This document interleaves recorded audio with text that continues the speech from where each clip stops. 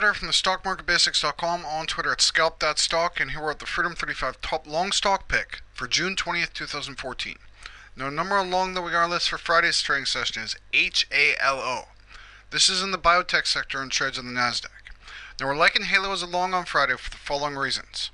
The stock has been moving up since bottoming out in April.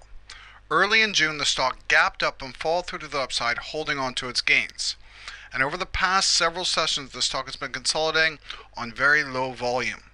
We'll see if this stock is able to break out to the upside as the market opens on Friday, and if it does manage to trade above $10.35 a share, we will consider it as an intraday long trade with a daily price target of $10.90 a share.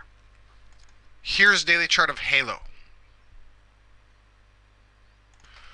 Once again, my name is Colin Macleod from the StockMarketBasics.com on Twitter at Scalp.Stock. Be sure to subscribe to this channel for future updates, as well as check out our Freedom 35 membership program.